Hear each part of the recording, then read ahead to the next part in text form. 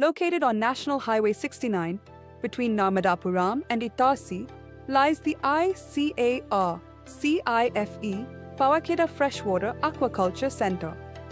Originally a state fish farm, it was handed over to ICAR CIFE on 8 April 1982.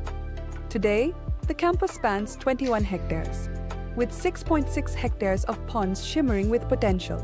As a key nodal center of ICAR CIFE, Powarkheda trains farmers, students, and entrepreneurs in every aspect of freshwater aquaculture, pond design, water quality, breeding, and sustainable feeds. Through hands on workshops, extension outreach, research, and production of high quality seed, the center drives awareness and growth of freshwater fish, farming across Madhya Pradesh and neighboring states. CIFE Powarkheda, where knowledge meets water, creating waves of opportunity for a blue, brighter future.